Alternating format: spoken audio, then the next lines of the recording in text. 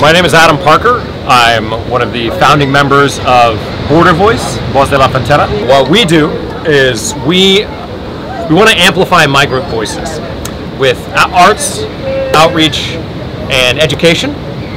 Something really magical happens when you, especially with theater, because it's something you have to confront live. It's it can't be recorded, it can't be paused, it can't be something you come back to. You have to be right there, and it's very present. So that's why in this crisis that's happening right now, we're, uh, theater is a really interesting way to connect to it. And theater's always been a big theater has been political since its inception. You know, a lot of modern theater as we know it since the days of the ancient Greeks. It was political. It was a socio-political commentary.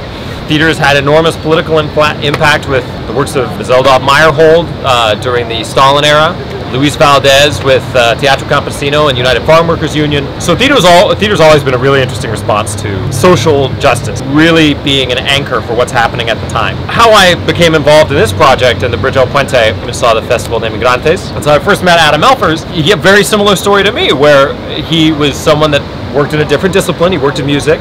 Took it upon himself to come down here and to learn more about the situation. Said, I have to do more and I want to amplify these voices. And so at that time, this is many months ago, we knew we were going to collaborate on something at some point. I really believe in what they're doing with Casa Hogar and, and the Bridge El Puente, not just the band, but the project, uh, what they're doing for families and their commitments to keeping families together. That's an enormous initiative for what we, you know, want to highlight using the arts.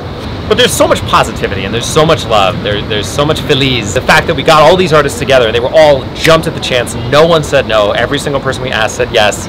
Even the people that said they didn't have enough time to come and live paint, they showed up today and they live painted. And, and, and coming together to highlight positivity, bring attention to that part of the situation, and say that there's there's positive vibes on both sides of the border. That meant uh, a lot. To bring it together using visual art and using music was really something to be special to be a part of.